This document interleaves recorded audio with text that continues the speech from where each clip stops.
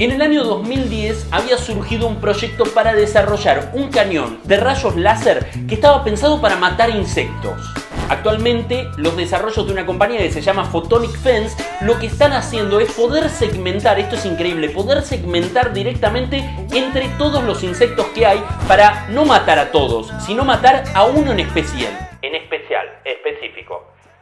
A un insecto en específico.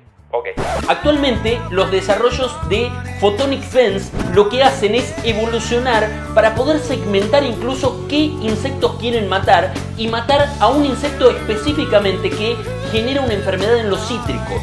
Se llama sílido asiático y en Florida es un insecto que afecta profundamente la producción. Según los especialistas, este rayo puede trabajar a 100 metros de distancia, 100 metros de distancia y eh, puede matar el 99% de los insectos que se le ponen a tiro.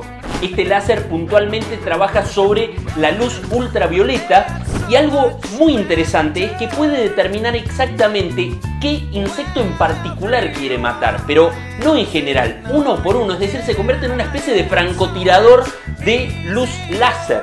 Ahora, hablando en serio, la principal ventaja que tiene este procedimiento es que no se utilizan ni pesticidas ni ningún químico para matar a los insectos que afectan a la producción. Pero los estás matando de una manera como violenta.